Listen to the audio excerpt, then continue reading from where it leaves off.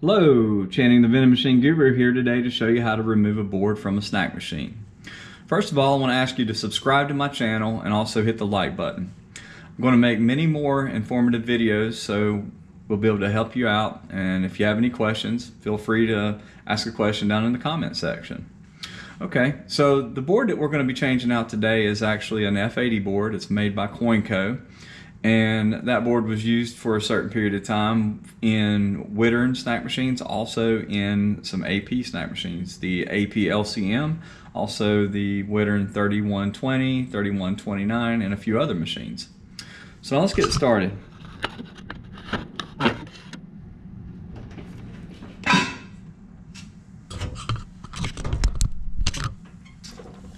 Okay, so the first thing we're going to do is we're going to remove our wiring harnesses. This is your motor wiring harness. We're to remove that carefully. Power wiring harness, MDB.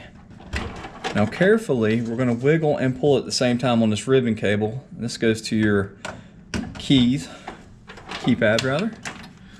All right, and so the tricky part, from what I'm told, and some people are having issues with getting the board off of the standoffs. These little pegs your standoffs right here. They have a little barb on them.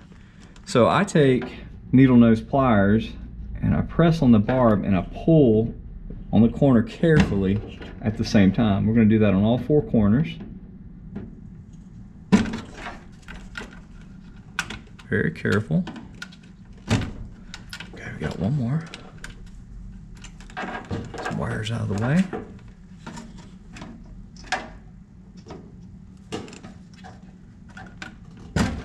Okay. We have the board off. Okay. So here's the board. This is the F80 board. Just be very careful when handling it. Hold it from the edges. And you want to store it in a package, something that keeps dust and dirt off of it, something like this.